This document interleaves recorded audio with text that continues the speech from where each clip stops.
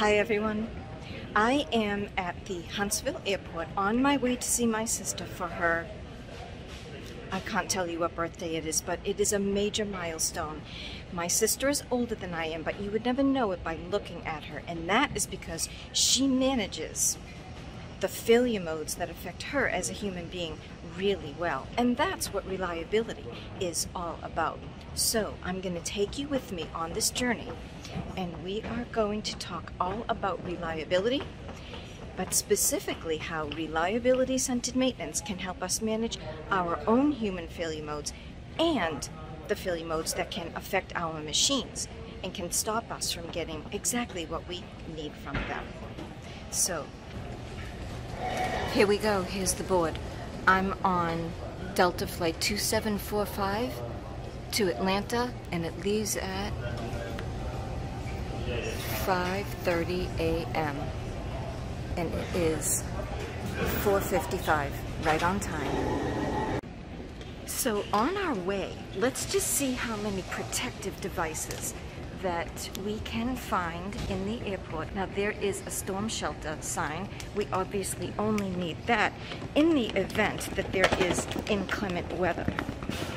See, protective devices are those devices and systems that are intended to keep us safe in the event that something else goes wrong.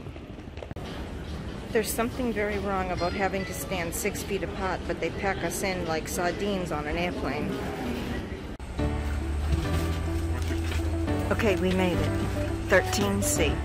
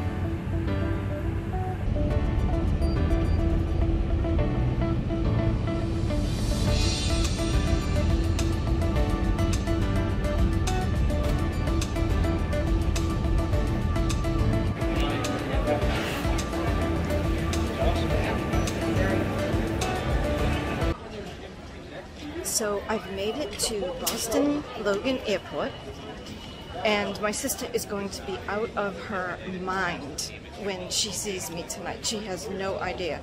She texted me earlier and she told me that she's been secretly wishing I would surprise her on her birthday.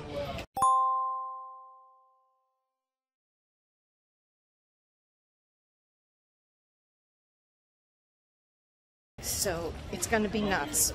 And I'm going to get it on video. But back to reliability. The airport is jam packed with protective devices. And remember, we said a protective device is a device or a system that is intended to protect us in the event that something else goes wrong. So when we talk about protective devices, we're talking about multiple failures. There's more than one failure, there are two. And I'm coming, I'm coming up on one that we may need tonight. Here it is. It's an AED defibrillator.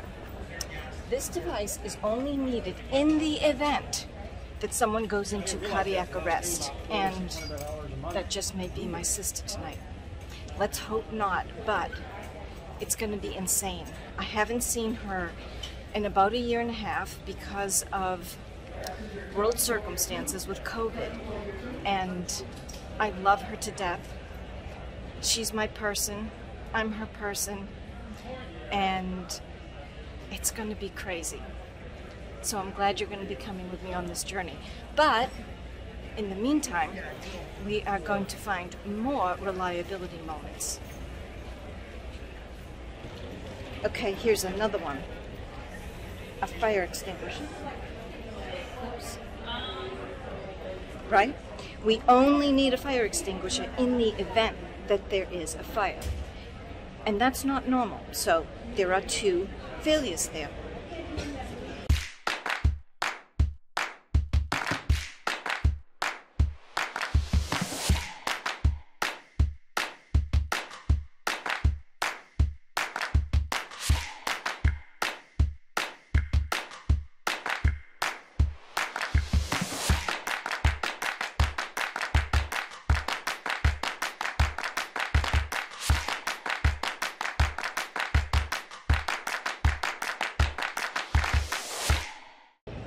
I found another one. Let me show you.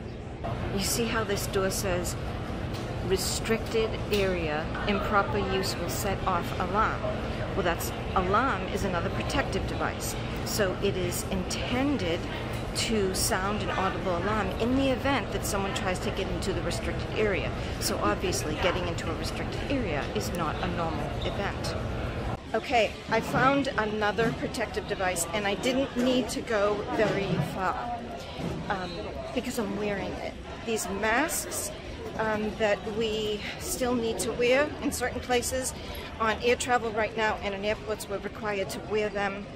Um, but it is a protective device, right? I only need it in the event that I or someone else has COVID 19. So there are two failures there right? If I'm healthy, I don't really need it, so it is a protective device. The Boston Red Sox were a religion in my house when I was growing up. People go wild for the Boston Red Sox in Boston. It's one of the things I miss about being here.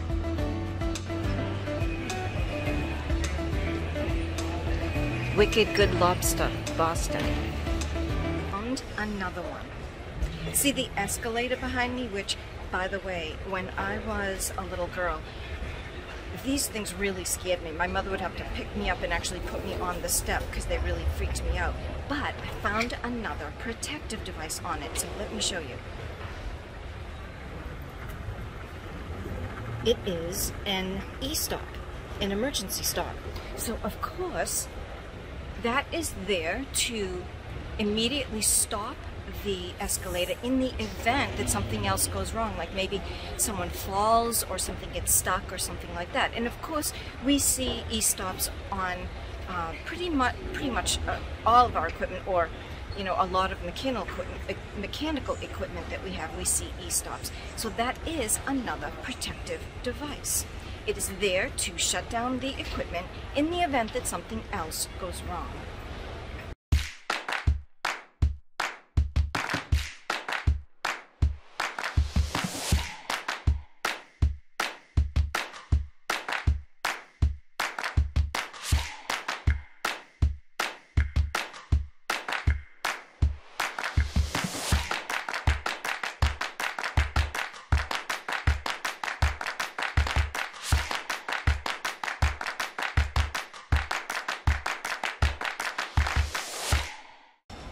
Got another one. Okay, so here is the elevator. And you see here right above the buttons, it's not a placket, it's, it's actually etched right into the plate. It says, in case of fire in this building, use exit stairways. Do not use this elevator. Well, this is also a protective device because it is warning us not to take the elevator in the event that there is a fire in the building. So I found another one, and it is on the baggage conveyor, which is behind me. And if you just show you, I'll turn the camera around, and you see it's another e-stop, that this emergency stop button stops the conveyor.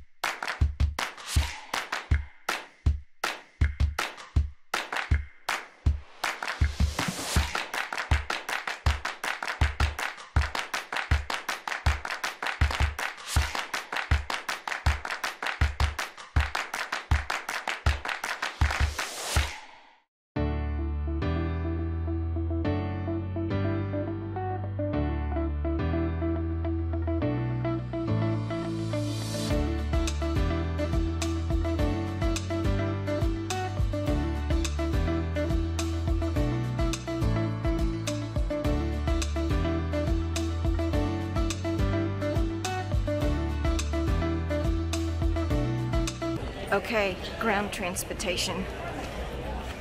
It's time to leave the airport and get ready to surprise my sister.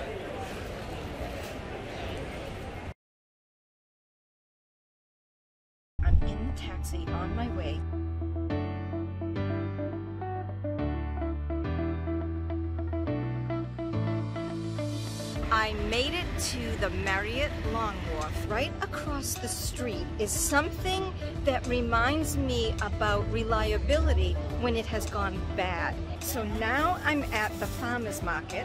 You can also see it's a very humid day, which is not good for the hair situation. Have you ever seen any bigger beets?